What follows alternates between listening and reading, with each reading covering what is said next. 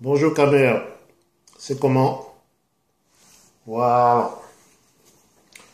Donc, euh, nous reprenons donc la suite de la vidéo euh, concernant le sujet comment construire son foyer pour le Mbom Kamer? La dernière fois, on avait euh, présenté les parties introductives, quelles étaient les ambitions, les qualifications, les aspects d'intégration, comment, quelles étaient les, les, les étapes les âges qui étaient euh, qu'on devait respecter. Aujourd'hui, on va voir la mise en place et la structure du projet du foyer d'un visionnaire camère éclairé. Vous savez, nous vivons ici dans un en Occident où les règles ne sont pas les règles de chez nous. Et euh, ici, il y a une structure de société qui est déjà établie et dans laquelle nous devons nous intégrer et prendre les meilleures places. C'est-à-dire avoir une stabilité familiale, une assise solide pour que les familles qui constituent notre communauté soit bien installée et rende, soit forte et rende notre communauté aussi forte. Dans la dernière vidéo passée, je vous parlais encore de la nécessité d'avoir euh, une communauté forte et la force de cette communauté est essentiellement basée sur la force de chaque famille. Donc, si nous avons une multitude de familles camères qui sont correctement établies ici en Bain, automatiquement, nous avons la base structurelle pour avoir une communauté qui va progressivement s'imposer et progressivement apporter des solutions globales à l'ensemble des membres de sa communauté. Donc, on a pu voir et parler des exemples des autres communautés et voir que toutes les autres communautés qui brillent là-dehors sont des communautés qui sont très unies, qui se soutiennent, qui ont une base familiale bien structurée et qui maîtrisent euh, de manière parfaite la vie ici en Occident en particulier et dans toutes les autres sphères euh, de bain, euh, que ce soit en Asie ou en Amérique euh, ou en Europe. Donc cette partie-ci va présenter ce que j'appellerais comme titre principal le projet du foyer, vision du boss de la famille. Oui, effectivement, le chef de famille, même quand il est encore sur les bancs de l'école, doit maîtriser une structure, la structure adéquate de son futur foyer. Quand je parle de structure, c'est quelle forme de foyer quel projet de foyer doit-il mettre en place pour pouvoir survivre aux aléas de la vie ici en bain On suppose donc que c'est quelqu'un qui, dans son parcours, il n'attend pas de finir ses études, mais il sait que toute sa démarche est faite pour que, à la fin de, ses études, il anticipe, il a déjà préparé un plan d'action, il sait exactement au final quelle structure de famille il veut mettre en place. Il a un projet clair et c'est de ça que nous allons parler. Donc, le projet du foyer à construire, c'est de ça qu'on parle aujourd'hui. Ensuite, on va voir comment on met les éléments dans ce foyer, c'est-à-dire quelle femme choisir et comment la choisir pour qu'elle soit en adéquation avec ce foyer-là. Et puis, en dernier lieu, comment au quotidien on gère ce foyer-là pour qu'il soit prospère. J'ai produit un document que j'ai donné à Warman pour qu'il mette sur le site. J'espère qu'avant que cette vidéo ne vienne, vous aurez eu l'occasion de le voir. Je vous donnerai des liens sur euh, ce document. Je l'appelle le K1 MIFA. Donc, c'est le dossier K1 de la famille. C'est le dossier qui donne ce que j'appellerais un plan de structuration de la famille ici en Bain. Donc, c'est un prototype que je propose euh, humblement à la plupart des péricats là dehors. Il peut être adapté euh, selon euh, les, les, pays et les règles fiscales, parce que ici, l'objectif, c'est de réussir à intégrer sa famille dans le contexte économique et social dans lequel vous allez vous déployer, dans lequel votre famille va vivre, dans lequel vos enfants vont grandir et que vous allez travailler. Donc il faut savoir exactement comment le faire. Je ne sais pas si en le présentant ici vous voyez quelque chose. Toujours est-il que vous aurez lecture, à la vision de ce, avant la vision de cette vidéo, eu l'occasion de voir euh, ce document sur le site de Warman du Terre à Terre. Donc, je vais le parcourir euh, pour vous. Donc, ce projet, en fait, c'est quelque chose que j'ai produit aussi euh, pour mes besoins, les besoins de ma famille. Je n'ai pas eu l'occasion de le faire bien avant c'est en rencontrant pas mal de difficultés que j'ai compris vraiment la nécessité d'avoir euh, un plan de route comme celui-ci. Et je suggère que même ceux qui sont déjà en couple, qu'ils essaient de voir s'ils peuvent, si ça peut leur apporter quelque chose que d'appliquer ce plan de match que je pense être euh, d'une efficacité absolu euh, et très adapté, à mon sens, à notre euh, situation de vie ici, ici en mai.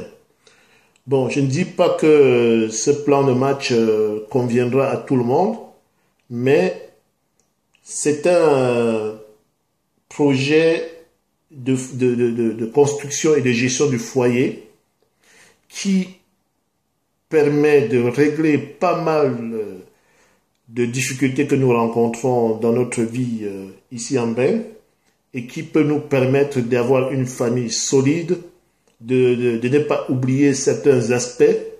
Et j'ai pris euh, la peine d'introduire aussi certaines idées que nous avons discutées avec les, gens du Terre en ce qui concerne en particulier nos enfants.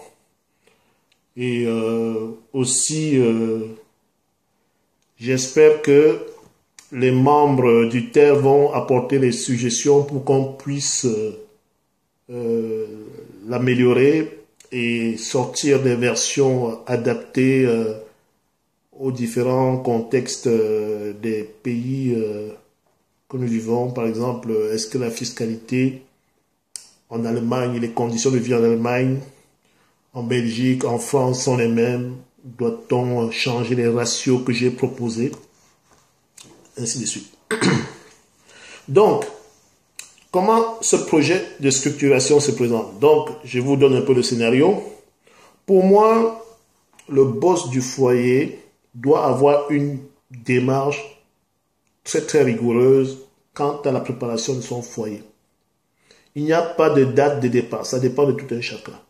C'est-à-dire que un jeune homme déjà même à 23 ans, 24 ans, même quand il est encore sur les bancs,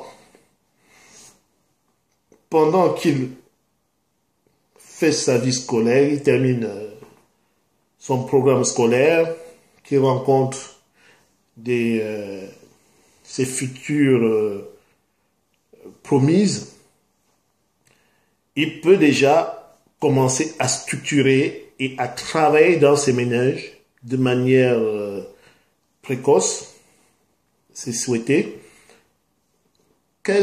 Comment est-ce que il va organiser, quel genre de vie, de famille il veut avoir, et grâce à ce plan, il peut commencer déjà à faire les simulations. L'avantage étant que, en faisant ces simulations et ces recherches d'avance, il peut lui-même voir s'il est capable d'atteindre ses ambitions ou s'il doit ajuster ses budgets. C'est un exercice qui est vraiment intéressant à faire et euh, qui permet de, savoir, euh, de, placer son chapeau là où on peut le décrocher après. Pas de faire euh, des, fausses prévisions basées plus sur euh, de, l'orgueil ou quoi que, quoi que ce soit, et après on se trouve dans des difficultés financières. Donc, dans ce plan qui est fait présenté comme un schéma, il y a un bloc qui s'appelle le projet du foyer, la vision du boss. Dans ce cadre-là, on énumère 10 points, 11 euh, points exactement. C'est quoi le projet du foyer? Le projet du foyer pour le futur boss de la famille, c'est d'établir en premier lieu l'épouse qu'il va choisir. Ça veut dire que elle va le choisir en tant que sur les points suivants. Elle devrait être une copilote par rapport au projet qu'il est en train de mettre en place. Donc le choix doit être conséquent. Est-ce que la femme qui veut choisir sera capable d'être copilote dans ce projet-là? S'il connaît son projet, il aura effectivement plus d'éléments pour pouvoir apprécier quel genre de femme il veut avoir avec elle. Donc il va plus choisir sa femme en fonction de, de la uniquement. Il va sous-peser raisonnablement. Il y a aussi l'aspect diplomate. On a besoin que nos femmes soient les diplomates. Les femmes, c'est elles qui font de la diplomatie dans le ménage, surtout par rapport aux euh, belles familles et des deux côtés d'ailleurs. Ça veut dire que c'est elle qui permet au boss du foyer, c'est-à-dire à son mari, d'aller faire du boucan et après elle, vient, après vient réparer avec la diplomatie. Pourquoi le mari doit être capable de faire du boucan? Parce que dans la vie de tous les jours, là, à cause des pressions, il faut que la belle famille, il faut que le mari et sa femme soient complices. Quand les, temps sont durs, le mari doit pouvoir frapper la main sur la table. Si, si ça se gâte, après ça, il faut que la femme soit assez diplomate pour aller réparer les dégâts. Ça, c'est le rôle, pour moi, de l'homme. Et la diplomatie, c'est le rôle de la femme. Elle va avec sa douceur, son charme, elle calme les choses. Mais le mari doit toujours montrer que ça marche de manière qu'il est décidé, il a des projets sûrs, il doit être, il doit avoir la poigne solide. Et ça, parce qu'il sait que, même s'il s'est trompé, sa femme, grande diplomate, va arranger. Et puis aussi, une femme serviable. Un bon foyer doit tourner parce que on a une femme serviable qui va être capable de prendre en charge la plupart des choses, d'accompagner son mari avec la bonne humeur sur l'ensemble des projets qu'il compte mener. Le deuxième point concerne la maison de la famille. Oui, une erreur que j'ai vu beaucoup de péricas faire ici euh, en Europe, même pas des péricas seulement, surtout des grands frères, parce que les péricas aujourd'hui, ils sont plus malins, ils ont compris. Il faut être, il faut avoir une maison pour son projet de foyer. Moi, je le mets, la femme, c'est le premier point du choix. Le deuxième point important, c'est même pas les enfants, c'est la maison. Ça veut dire, je passe de la femme parce que c'est le copilote, c'est l'élément indispensable, c'est lui qui complète le grand joueur. Mais derrière ça, un toit dont on est propriétaire. Je ne dis pas que quand vous sortez de l'école, vous êtes directement capable d'acheter une maison, mais ça doit être un projet déjà dans votre calendrier. Dans deux ans, dans trois ans, vous savez déjà, vous avez commencé à faire les enquêtes, recherche d'informations, voir jusqu'à quel niveau on peut vous faire les prêts, ainsi de suite. Pourquoi ça? Beaucoup de gens de notre communauté passent leur temps à verser l'argent ici aux propriétaires de maisons alors que il y a des possibilités dès qu'on travaille d'accéder à la propriété. Je dirais que la communauté aussi, puisque les Watts, avec euh, les banques ici qui ne sont pas des vraies banques, nous empêchent,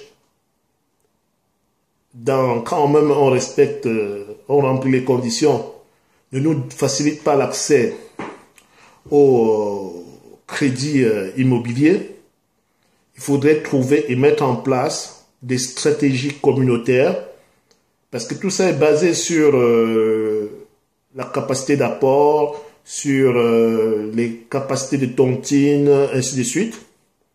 Mais il faut que notre communauté mette en place des moyens sûrs pour permettre aux familles, à nos familles d'accéder à la propriété le plus rapidement. Ça, c'est une priorité pour nous.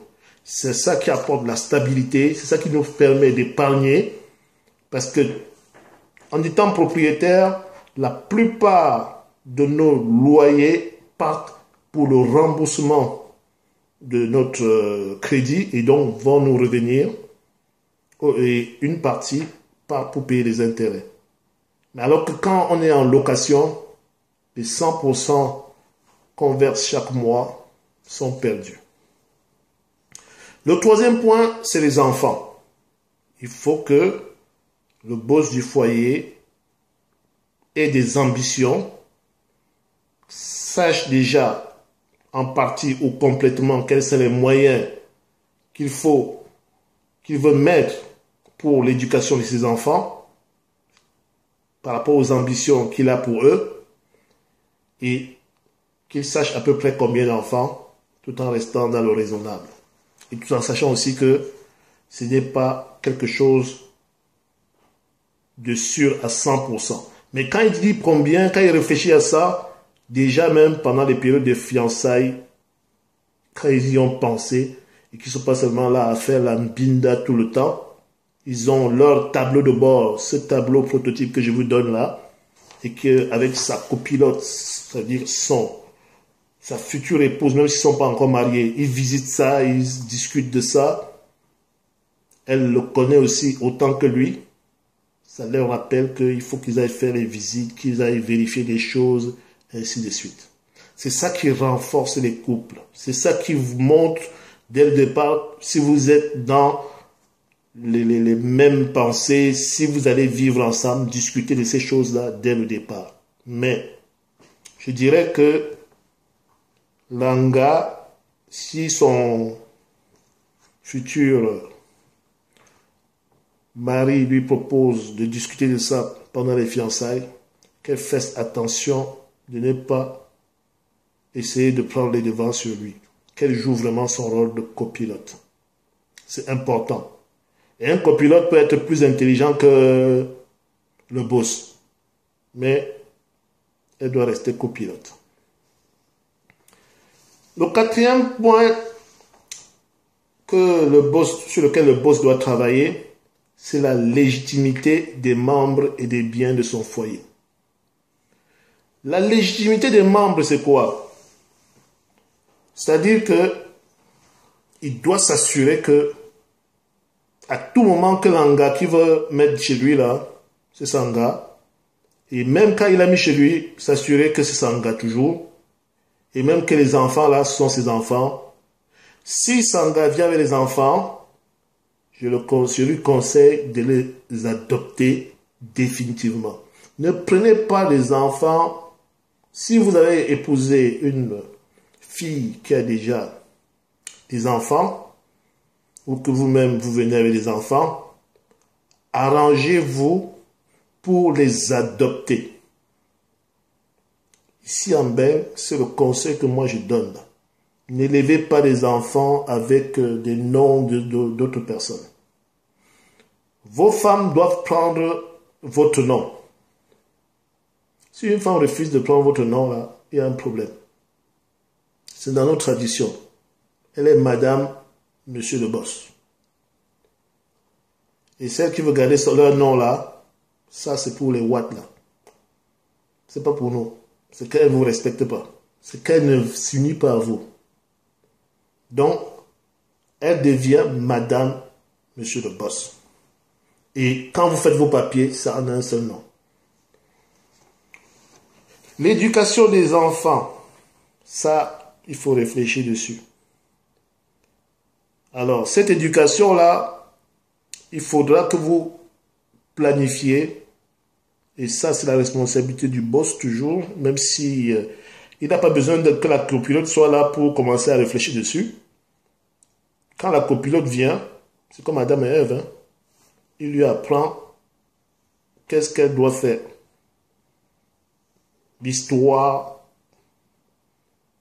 de notre communauté, les coutumes, la langue, le métier et les orientations, c'est votre responsabilité. Tout cela en fonction de ce que nous, dans notre communauté, on est en train de construire. Soyons cohérents. Qu'on ne fasse pas les choses par rapport à ce que le blanc nous impose. Je vais vous dire une chose, nous, on a beau étudier et briller à l'école, vous remarquerez que chez nous, on, a, on, aurait de la difficulté, même si on nous dit, OK, allez chez vous fabriquer des vélos ou euh, des motos, on va vous le racheter ici. On aurait vraiment du mal. Pourtant, on a beaucoup d'ingénieurs, on a beaucoup. Pourquoi? Pourquoi ça? Parce que fabriquer quelque chose pour le vendre, c'est un processus. Ce n'est pas seulement une connaissance intellectuelle de comment on le fait. Ça prend beaucoup de choses. Ça prend un environnement organisé. Ça prend des années à mettre ces environnements-là. Ça veut dire que ce qu'on commence aujourd'hui là, ça va prendre corps que dans 30 ans peut-être. Peut-être plus tôt. Je ne veux pas décourager quelqu'un, mais moi, même si ça prend dans 50 ans, je suis content. Parce que je ne compte pas être là quand ça a pris, mais je veux être sûr que même quand je ne serai plus là, le cheminement va continuer et que nos enfants ou nos petits-enfants vont le faire. Oui, c'est ça l'objectif. Ne faites pas les choses aujourd'hui en pensant que c'est vous qui allez le réaliser là demain. Non, on amorce. On, est tellement resté sans rien faire que ce qu'on fait aujourd'hui, c'est l'amorce. Et donc, puisqu'on est en amorce là, les enfants sont au cœur de nos projets. C'est pour ça que quand je parle de l'éducation des enfants là, bien sûr, on a un gros challenge. Vous devez vous assurer que ils auront leur place si on est encore dans cette société mais qu'ils auront aussi leur place si on décide d'aller au cours pour continuer notre activité. Et ça là, c'est pas impossible, puisque ce n'est qu'une question de connaissance. Moi, je suis au Canada aujourd'hui, je suis au Québec exactement. Je peux vous assurer que pendant 25 ans, les 25 dernières années, c'est les Haïtiens qui formaient les Québécois, qui étaient les enseignants ici. Il y a dix ans, ils ont repris la main dans presque tous les secteurs. Mais avant, parce que eux, ils n'allaient pas à l'école auparavant, ils n'aimaient pas ça. Ils étaient obligés de s'appuyer sur les Noirs, sur les Haïtiens, pour faire les enseignements. Mais dès qu'ils ont commencé à reprendre la main, ils ont foutu tout cela à la porte et c'est eux qui le font maintenant. Ça veut dire quoi? Ça veut dire que ce n'est pas une question de niveau ou de quoi que ce soit qui fait que vous établissez ou mettez en place une économie. Sans être long crayon niveau, on n'a pas besoin de docteur PhD là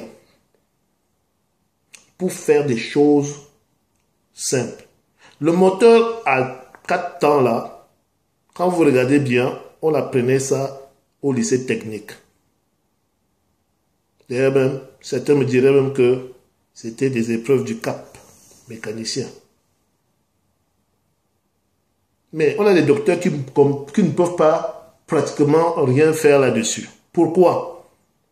Parce qu'on manque d'expertise. Ce n'est pas une question d'intelligence, c'est une question d'expertise. On n'a pas cherché comment établir un processus. Quand vous voyez la révolution chinoise, quand Mao Tse-tung a décidé et mis en place la révolution chinoise, parce que c'était un grand homme ce type-là. Sachez que ils ont décidé qu'ils allaient maîtriser le fer, parce qu'ils savaient que c'était la base de la technologie, la, euh, la sidérurgie.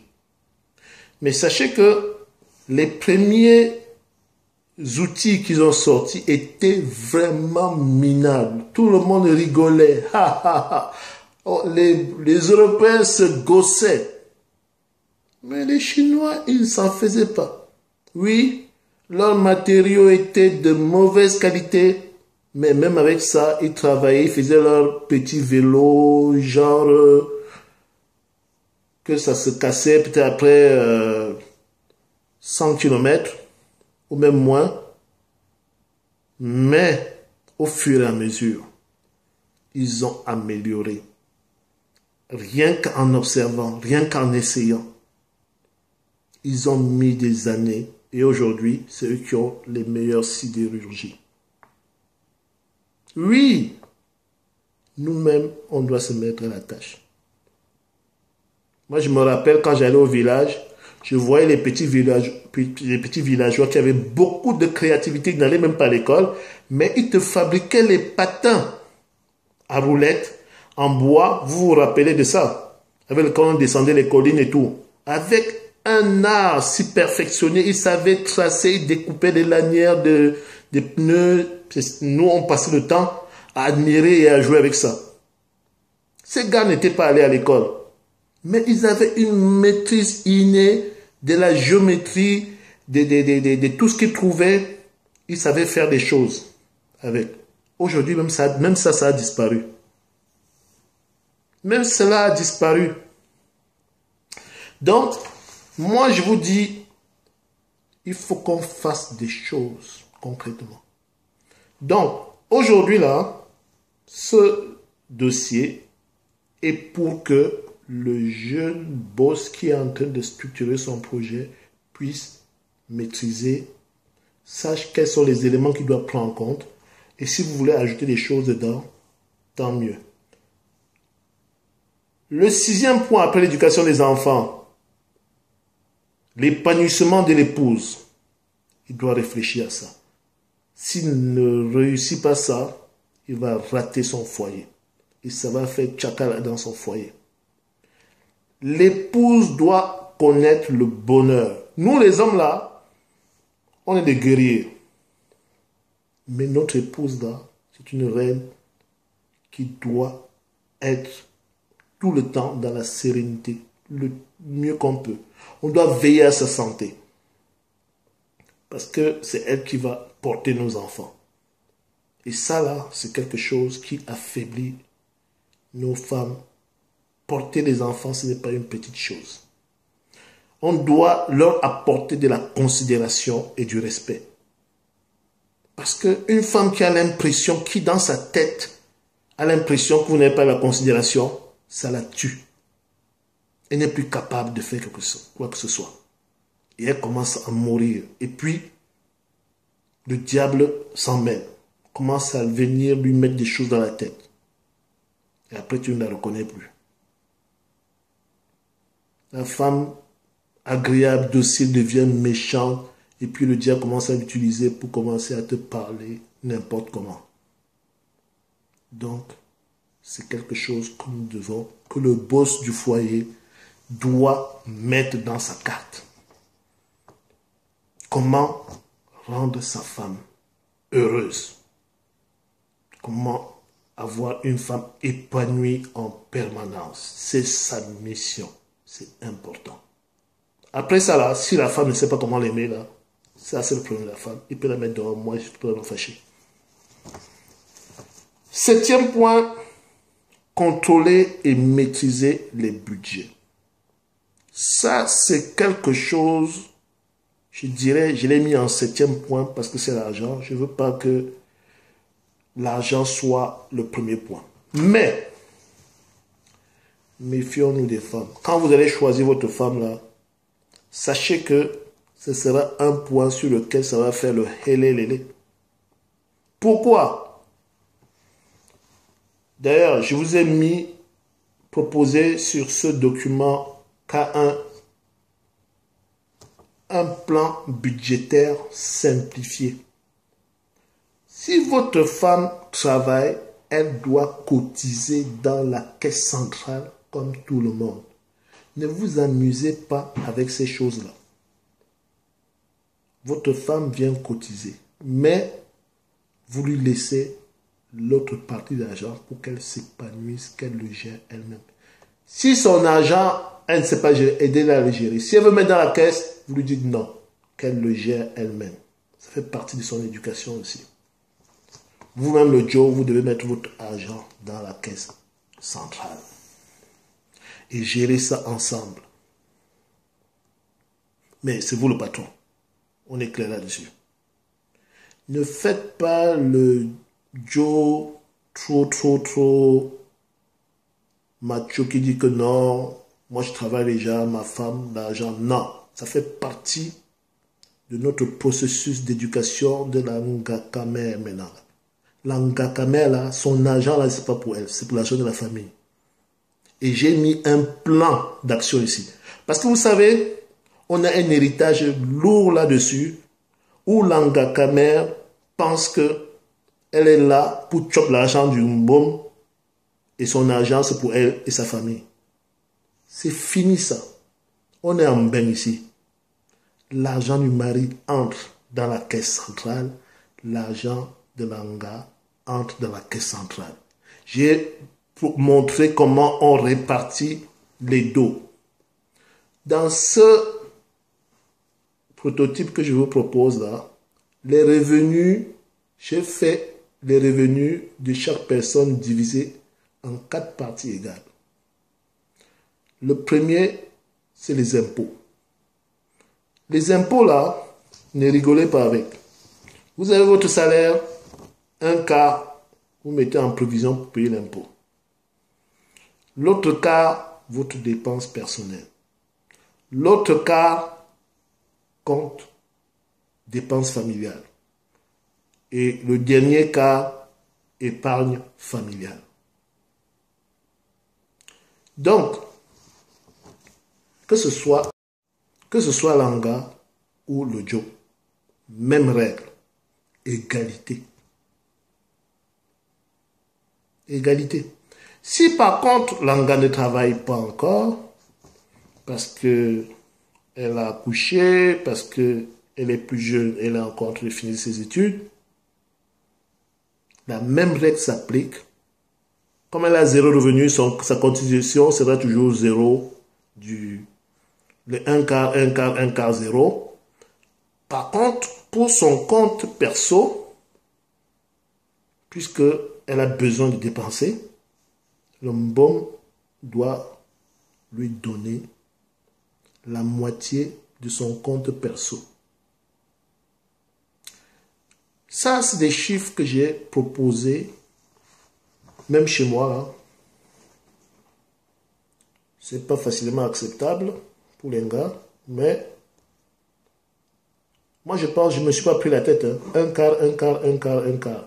Faites l'expérience, c'est le plus simple. Et ça marche dans la plupart des cas.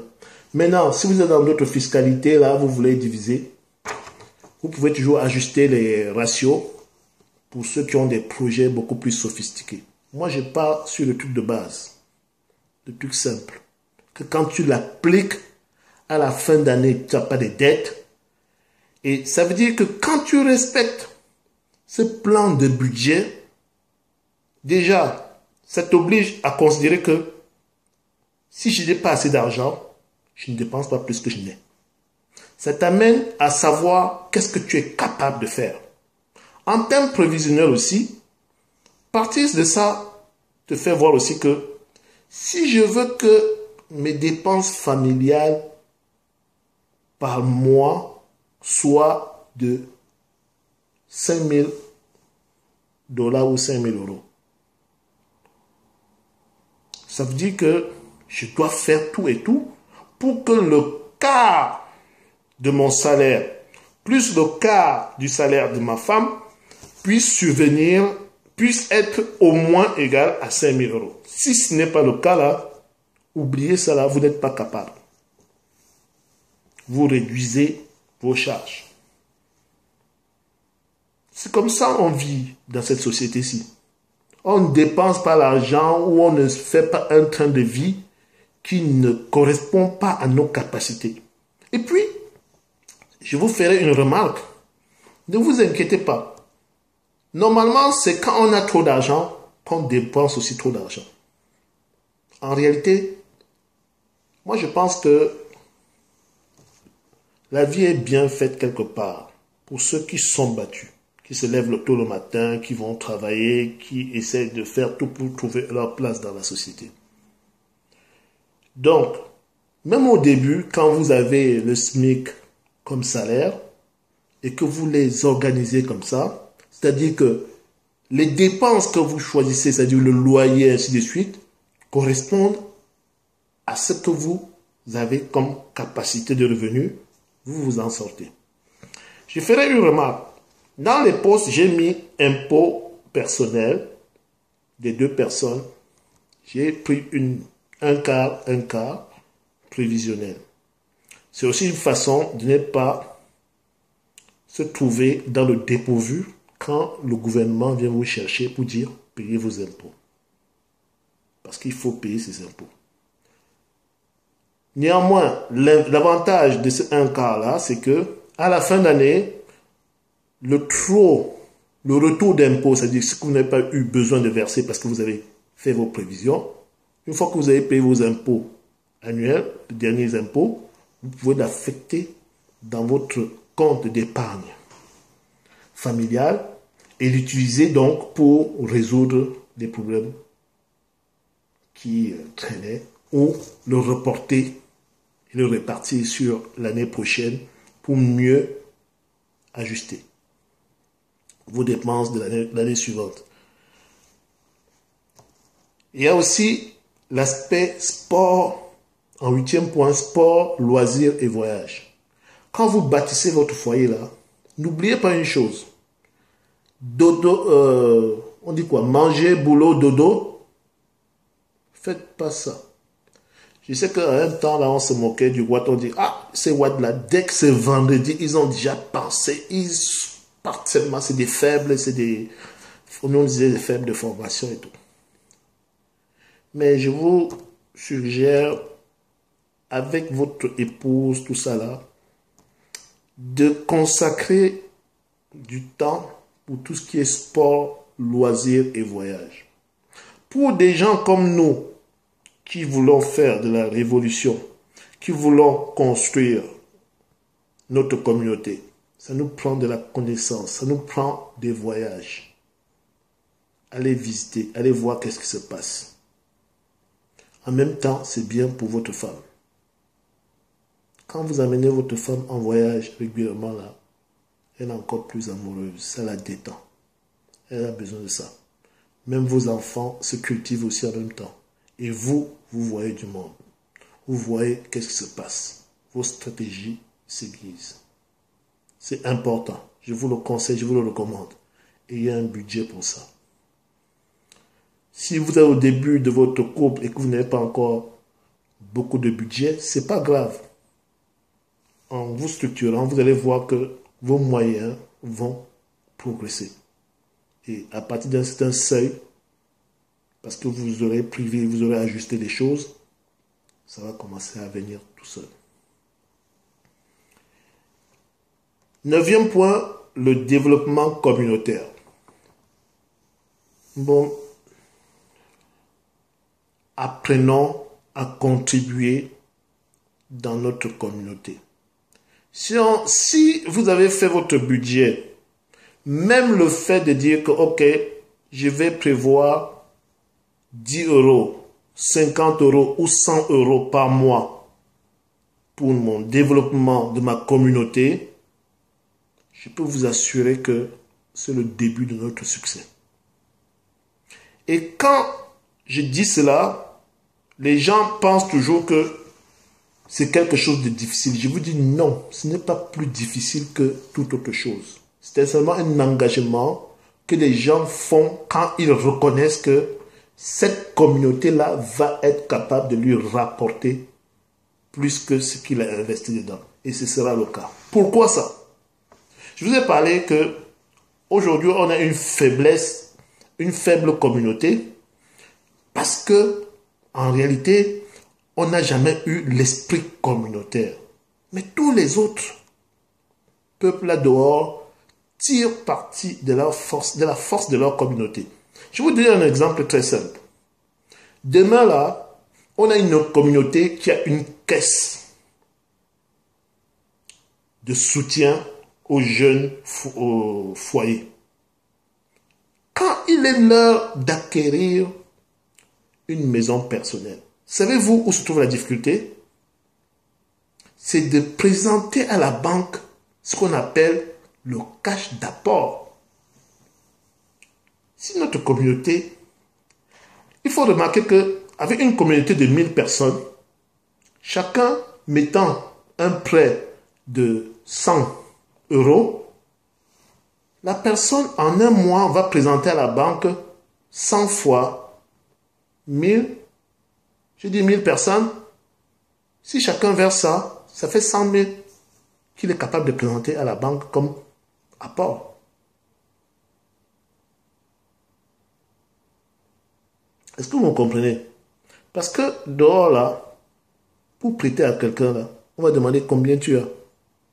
La plupart des groupes ethniques là, les Bamileke, tout ça, c'est comme ça ils se soutiennent pour aller déclencher, pour aller réussir à passer leurs affaires là-dehors. Les tontines, ainsi de suite. Moi-même, en autre temps, mes copains, quand ils voulaient acheter leur maison, c'est à travers nos tontines qu'on soutenait la plupart. On disait, OK, toi tu as ton projet de maison, donc tu vas être prioritaire pour porter la tontine en même temps, on va voir de quelle manière tu peux emprunter de l'argent dans la communauté. Et tous les autres, on les fait passer après lui, parce qu'on sait qu'il a un besoin social urgent qui est important pour notre communauté. Et c'est comme ça que lui, il, pouvait maintenant aller voir le banquier et dire, moi j'ai mon apport personnel de 40 000, 50 000 euros, alors que derrière ça, dans les 50 000 euros, au moins 30 000 euros, c'est sa communauté qui est en train de le soutenir virtuellement. C'est ça, la puissance communautaire. Et c'est comme ça qu'on va déjouer leur plan là qui consiste à dire, oui, t'as pas assez d'apport, oui. Parce que, je vais vous dire une chose, vous sortez de l'école, avec votre copain Watt là, le lendemain vous apprenez qu'il a acheté une maison à 250 000 euros là. Il n'a pas plus de moyens que vous, vous faites le même boulot, mais il a déjà acheté sa maison. Pourquoi? Son père qui vit ici, contrairement au tien, est allé le soutenir à la banque. Il allait mettre en hypothèque sa maison pour lui. Mais ton père n'a pas d'avoir ici, il n'a pas la, possibilité de le faire. Vous comprenez? C'est important. Moi, je vous donne maintenant les exemples seulement. Je hein. Je suis plus en train, au niveau, de vous parler de la théorie là. Je vous parle des cas pratiques. Dernièrement, là, j'ai lancé un projet là sur le terre qui disait faisons, mettons en place notre structure e-commerce, d'échange, ainsi de suite. Bon. Les gens, ils sont en train de réfléchir à dire que oui, c'est pas. Les gens ont peur d'y aller parce que ils n'ont pas l'expérience du travail communautaire. Mais dans ce projet, on vous demande même pas d'investir quoi que ce soit en termes d'argent. On vous dit, dans notre communauté, on a des étudiants, on a des cadres qui sont super balèzes là en informatique, en gestion financière, en comptabilité, en ceci, cela. S'ils consacrent deux heures, quatre heures par semaine au projet communautaire, nous aussi, on peut avoir au niveau de la toile, Internet, un environnement sur lequel on peut commencer maintenant à gérer nos activités communautaires. Est-ce que c'est difficile à comprendre l'intérêt qu'il y a pour nous d'avoir un espace comme ça? C'est une arme économique très tranchante. J'ai parlé la dernière fois aussi dans ce même cadre de projet que oui, on pourra, une fois qu'on a traversé cette étape, étendre le projet, avoir tout ce qui est transfert d'argent entre nous, les benguetaires. Vous attendez quoi pour vous sauter là-dessus? Parce que demain, là, quand je suis en train d'imaginer que je vais aller investir au co, ma tête se met à chauffer. Je dis, ok, si je veux investir 100 000 euros au co, je fais comment pour faire arriver l'argent au pays? Ma tête chauffe. Les gens vont dire, oui, tu portes un peu, petit à petit, tu fais des voyages. Moi, je vous dis que, oui, possible. Avec tous les risques que ça court, où tu donnes, où tu fais West. D'abord, les gens me disent Western Union. Vous savez combien ça coûte de transférer 100 000 euros par Western Union? D'ailleurs, même c'est interdit. Si nous-mêmes, on a notre propre structure d'échange, ce serait facile. Ça veut dire que on a une structure avec les caisses ici, une caisse au pays, quelqu'un dépose l'argent de l'autre côté, il récupère ça, ça nous coûte rien en termes de droit de commission. C'est ça qui est important. Même si on euh, se garde de faire ça sur de gros montants, tant qu'on n'a pas la sécurité, la confiance en nous, on peut déjà commencer à expérimenter cela sur des petits montants. On ne peut pas rester toute notre vie à dire qu'on a peur. On a peur de nous-mêmes, on va faire notre révolution quand? Le blanc va rigoler de nous depuis. non oh, Mais écoutez, vous croyez que vous avez plus peur que moi? Vous avez peur parce que vous êtes trop attaché à l'argent. Sachez miser les petites sommes pour faire travailler et expérimenter la capacité de votre communauté. C'est pas en misant 100 dollars pour certaines familles ici, en bain, par mois, ou 10 dollars même par étudiant, que vous allez mourir de, de quoi que ce soit. Vous avez peur qu'une personne vienne voler, qui vole? Il va faire quoi? Il va survivre avec ça? Je ne pense pas. Mais moi, j'ai foi au fait que si on essaie, on aura un résultat. Si on ne tente rien, n'a rien. C'est la formule et tout le monde le sait. Donc, je vous ai parlé donc de la contribution au développement communautaire là. C'est quelque chose qu'il faut commencer à faire maintenant. Il faut apporter les idées. Apporter les idées pour ça. Contribuer au développement du co du Cameroun, de votre pays. Oui, ça se fait pas comme ça. Il faut penser, il faut en discuter, il faut mettre des stratégies en place. Il faut qu'on y aille comme une personne avec une grosse capacité. Comme ça, on va nous prendre au sérieux et ce sera plus facile pour nous de négocier des, des lopins de terre et de les faire, comment dire, euh, euh, de les aménager comme on voit, on aménage ça ici. Comment on va aller faire l'exemple au pays si on n'est pas capable, si nous aussi on va construire dans les mêmes Wataroup que eux. En quoi alors on apporte une différence, les gars? Moi, je me regarde et je dis, mais je vais aller là, on me dit, ouais, il y a un beau quartier là, c'est les ministres qui construisent. Mais quand je regarde un peu là où je dis, apportez-moi les photos, je vois que même les ministres là, ils s'en vont mettre des châteaux dans la poubelle. Mais non, nous, ces ministres-là, ils ont l'argent plus que nous, mais ils n'ont pas la méthode. C'est à nous de leur montrer que nous pouvons avoir, parce que nous vivons ça ici, leur ramener l'expertise que nous avons ici. Et ce n'est pas avec la bouche qu'on va leur dire ça. On va faire comment? On va y aller avec des projets communs. Un exemple. Supposons que on se constate qu'on est peut-être une vingtaine qui avons envie de, de, construire au pays. On se dit, OK, on va essayer de faire ça en plusieurs phases. Première phase, acquisition et viabilisation de l'espace. On décide aussi que, pour question même de sécurité, de, on soit dans le même secteur. C'est ça aussi la stratégie. Hein? Question de sécurité, question de...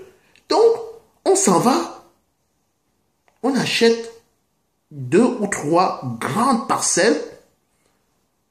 On définit un plan, on fait aménager. Déjà, ça va nous coûter moins cher pour tout le monde. Parce que le coût de déplacement des matériels, la technique de viabilisation, tout cela, ça va s'amortir. Et ça va faire que le coût sera divisé par 5, 10. Alors que si chacun va pour piocher, faire ça là, c'est du n'importe quoi. Et je peux vous assurer que si on fait ça, même les routes, on pourrait les goudronner pour arriver chez nous, au lieu d'arriver chez nous avec des potos-potos. Les gars, quand je regarde les Chinois faire les choses, hein, moi je dis, eux, ils n'ont pas peur du travail. Nous, ce qui nous embête, c'est que j'ai l'impression que on a un peu peur de, se mouiller. On a trop peur. Je ne sais pas. Il n'y a rien à dehors. Donc, moi, je vous suggère le terre à terre là, que vous voyez là, c'est à de l'avenir. Ça a de l'avenir. Et ce n'est qu'une question de s'asseoir, des petits groupes. Et ensuite, on a Internet. On se partage les choses entre nous là. Il faut qu'on commence à codifier là. J'attends que Arthur nous sorte ses algorithmes de codification là. le il a dit qu'il a une façon de codifier. Parce qu'il ne faut pas que le web dise. Hein, parce que c'est pas le web que je crains là. Mais il y a des petits joueurs là qui ont vu notre pays comme leur chasse gardée. C'est-à-dire que même si nous, les, la diaspora, on veut aller faire des trucs là. Ils vont essayer de nous contrecarrer. Donc, il faut que ça reste, pour le moment, bavard comme ça là, mais il faut que ça reste un peu secret, quoi. Et puis, finalement, donc, le onzième point est les ambitions du boss du foyer. Parce qu'un boss du foyer, là, le Seigneur a mis dans son cœur des choses qu'il veut faire. Il faut qu'il en parle avec sa, à sa copilote. Et que sa copilote agrée de l'accompagner là-dedans. C'est ça qui va faire la fierté de sa famille. Son ambition peut être quoi? Peut-être qu'il veut que sa fille ou son garçon soit le prochain Serena Williams ou de quoi que ce soit. Oh, on ne sait pas. Hein? Ou que notre Ito euh, sorte de sa famille. Les gars, c'est comme ça, ça sort. Hein? Ne croyez pas que... Tu sens que chez vous, là, vous avez un pied gauche qui... Mais mais y du temps là, et sans nous un autre étau, on a besoin de ça au pays. Les gars, c'est comme ça. Vous voyez les autres le font. Vous croyez que c'est parce qu'ils ont fait le miracle? Non, ils ont fait, ils ont eu la volonté. Le père Williams là, vous avez vu comment il a, pris ses filles, il a travaillé ses filles? Mais ces filles n'arrêtent pas de péter les dos là dehors. Moi, j'ai dit que vraiment, si j'avais... D'ailleurs même... Ah. Euh, moi, je ne je, je, crois pas que j'ai la fibre sportive. J'ai mes gars qui font une dambala, mais je suis pas tombé dans le bon coin là. Ici au Canada, là, on est, on est un peu, c'est un peu bolé.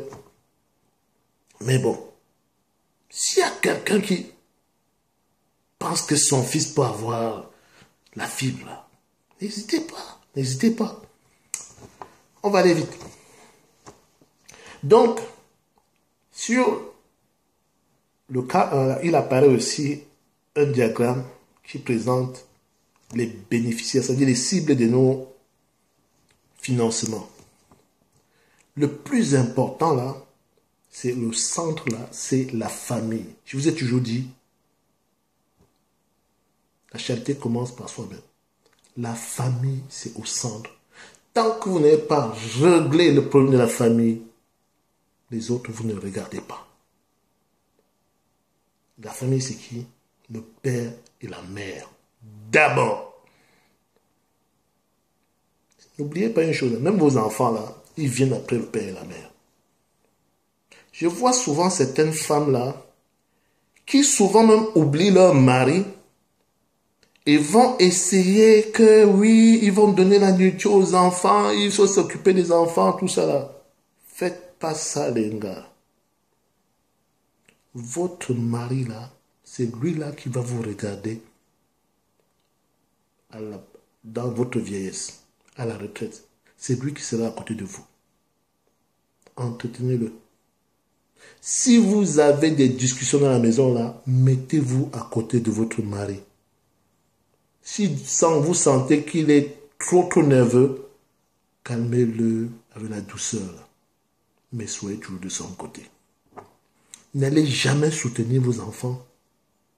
Bien sûr, empêchez-le d'être brutal par rapport à vos enfants. Mais soyez toujours de son côté vis-à-vis de vos enfants. Parce que vos enfants vont partir.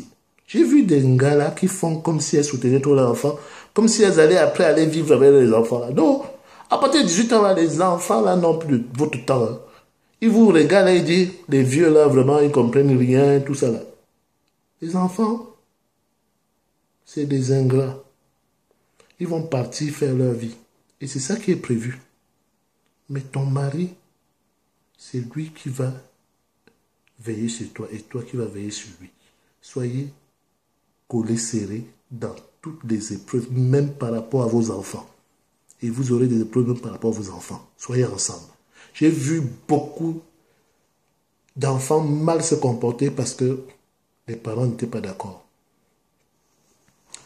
Ensuite, vous avez la responsabilité par rapport à ces enfants-là quand même. Oui. Faites tout ce qui est, surtout quand ils sont encore dans le petit âge là, vous leur donnez la priorité pour le manger, pour l'habillement, c'est eux. Donc quand vous constituez, et ils sont dans le budget central de la famille, leurs ambitions, leur école, mettez les choses, leurs loisirs, mettez l'argent dedans. Parce que c'est ça leur héritage. Ne croyez pas que votre argent que vous cherchez là, c'est tout ce que je vous dis là, la maison, tout ça, c'est pour votre retraite. Ça, c'est la clé pour dire que quand vous serez âgé là, vous vendez votre maison, vous cherchez une piole là-bas au cola et vous restez au soleil là Vous buvez votre majunga comme vous voulez. Vous avez donné ce qu'il fallait. À 24 ans, si un enfant ne s'est pas débrouillé là, vous ne pouvez plus rien pour lui. S'il n'est pas sorti, qu'il est en train de chercher son travail là. Mais si vous avez plus, vous pouvez lui donner. C'est maintenant, c'est dans au cours de la vie là que vous leur donnez. Hey, un exemple. Je vois mon fils dernièrement qui me dit, ouais. Maintenant, quand je lui parle, il ne va même plus m'écouter. Hein dit ouais papa bon écoute moi je suis en train de faire un projet parce que je veux aussi euh, j'ai vu que mes amis aussi commençaient à acquérir des maisons. Est-ce que tu peux m'avancer un peu d'argent pour que je puisse aussi euh... je dis ah donc tu es en train d'acquérir la maison. Il dit ah non je t'ai pas parlé parce que il fallait que je... Bon, c'est pas de grosses... Euh, c'est petit appart. Ça veut dire quoi? Eux là, à partir de cet âge-là, vous n'êtes même plus dans leur carreau. Hein. Ils se démerdent, eux, leurs choses là. Ils commencent à comprendre comment le système du Watt là. Et là, j'étais content. Je dis, ok, tu veux faire ton truc. Bon, j'aurais bien aimé que tu m'en parles. Il dit, non, je voulais t'en parler. Mais j'étais content. J'étais content parce que j'ai vu qu'il prenait des initiatives, qu'il faisait des choses, qu'il avait compris un certain nombre de, choses. Non, ne vous inquiétez pas pour eux. Là, et l'aide que je peux lui donner là, c'est son héritage, ça. C'est son héritage maintenant. Donc, moi, j'ai dit, OK. Et j'ai compris que si lui, on l'a bloqué à la banque parce que on dit qu'il n'a pas assez d'apport, peut-être qu'on a vu la couleur euh, de sa peau et puis j'ai dit, alors, c'est quoi que tu as besoin? On est allé chercher le moyen pour compléter et il a pu passer. C'est comme ça que vous allez les aider. Ensuite, dans quelques temps, là, ils vont être chez eux. Et les autres bénéficiaires, alors, c'est qui? Vous avez la famille proche, donc la famille et la belle famille. Ayez leur budget. Si ça ne sort pas, c'est pas grave. Mais ne sortez pas l'argent par hasard. Ayez le budget de tous les bénéficiaires. Si l'argent n'est pas sorti dans votre budget, là, ne donnez pas l'argent au hasard. Vous avez la famille éloignée. Si vous décidez que vous mettez 50 euros chaque mois dans le, compte budgétaire de la famille éloignée, à la fin d'année, ça fait 600 euh, euros. Et que vous n'avez pas le cœur à donner, vous laissez ça dedans. Ça peut servir à autre chose. Mais c'est comme un frère éloigné peut venir avec un vrai problème. Et vous répondez, tac. C'est pas le Cameroun qui est dans la gloire là. 50 euros tous les jours, tous les mois, pardon, qui vient de sauver ou de faire démarrer une petite entreprise d'un de vos frères au pays. Pourquoi? Parce que vous avez une famille avec un plan budgétaire solide. Je dis 50 comme ça, mais si vous êtes capable de mettre 5 000, pourquoi pas? Vous avez aussi tout ce qui est le Ngomna Amben. Ça veut dire l'État. C'est un gars avec qui il ne faut pas rigoler. Payer les impôts rapidement. Moi, j'ai passé mon temps à payer les pénalités. Et finalement, quand je compte l'argent qui est parti dans les pénalités, là, vraiment, ça me fait mal au cœur. Vous avez la communauté Camer, vous avez les investissements au co. Ça, même si on s'arrête là, on est déjà sur la route de la révolution. Une famille qui peut respecter ça, ce n'est pas un niveau de salaire montant, mais une famille qui arrive à finir ça avec sa propre maison, tout ça là. Ne vous inquiétez pas pour la maison. C'est facile de revendre les maisons ici, surtout quand vous avez bien choisi. C'est facile de revendre.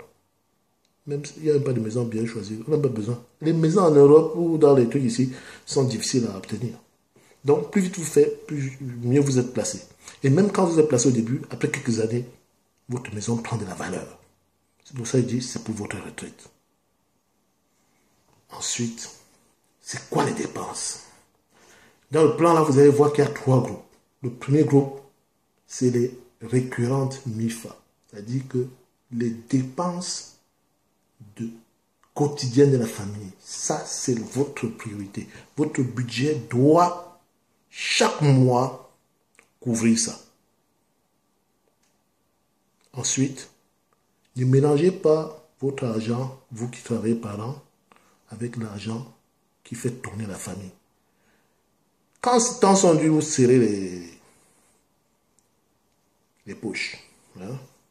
C'est sur vos propres budgets là que vous serrez. Assurez-vous que votre épouse a quand même de quoi là, parce que je préfère que ma femme ait quelque chose dans son compte plutôt que d'avoir des surprises que les gens lui proposent d'argent là-dedans.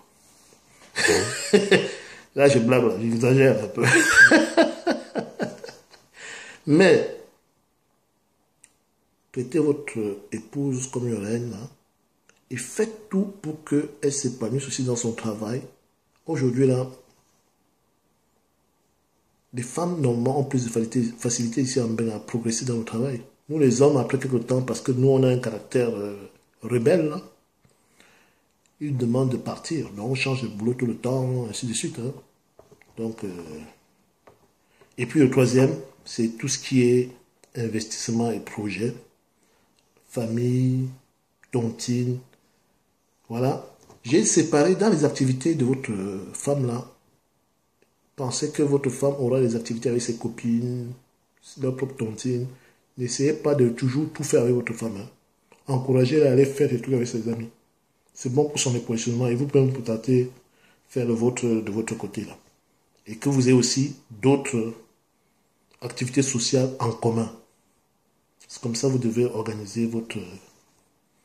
Ce que je vous suggère. Oh. Là, on a fini. J'espère qu'on n'a pas trop brûlé le gaz. Hein. Et ceci nous donne quoi? Ceci nous donne la structure du projet. Et dans la prochaine vidéo, on va voir comment choisir la femme qui est adapté à ce projet de structure-là. Bossez bien ce projet de structure-là. Parce que si vous avez une connaissance de ce projet de structure-là, vous allez bien sûr compléter avec vos propres désirs particuliers là-dedans, ajuster les ratios, dire quelles sont les dépenses ici qui sont privilégiées pour vous. Et avec ça, vous saurez comment choisir votre gars. À bientôt pour la prochaine vidéo. Merci de votre attention. Je n'ai pas le temps de faire les big up. Je remercie le grand Kachika pour son travail et pour la plateforme. Ce gars, il mérite. À bientôt.